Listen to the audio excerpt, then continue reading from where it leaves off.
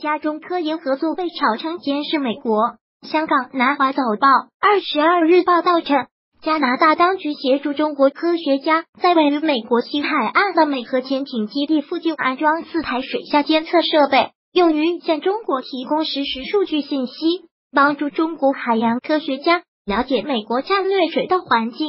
加拿大是美国的盟国，所谓帮助中国针对美国的做法，听上去就是天方夜谭。有中国军事专家在听到这一说法时，对环环 i d h u a n q u i u c o m 说，即便有这种合作，也是中加之间正常的科研交流，没必要和安全问题混为一谈。六月二十七日，实验系统在海底联网运行。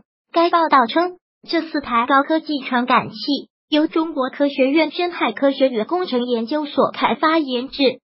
在加拿大海岸警卫队协助下，于今年六月二十七日投放至距离美国西海岸三百公里的湖岸的富卡海峡。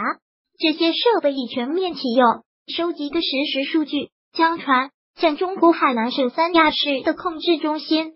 南华早报说，该海峡在战略上非常重要，在此安装水下监测设备的意义非同小可。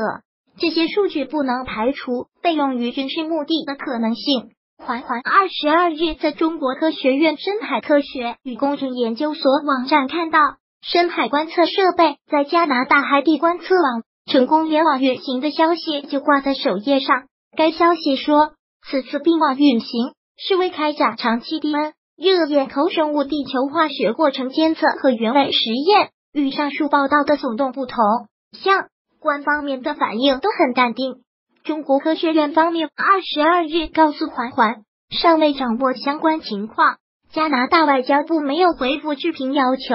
美国国务院的态度则是无可奉告。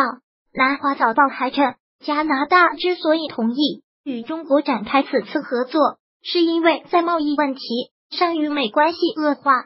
今年六月，美国对加拿大钢铝制品加征高额关税。上述中国专家对海环说，中加科技合作是一个长期过程，尤其是部署精密设备准备周期更长。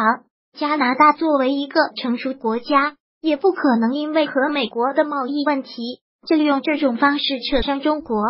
这种做法违背外交常规，令人难以信服。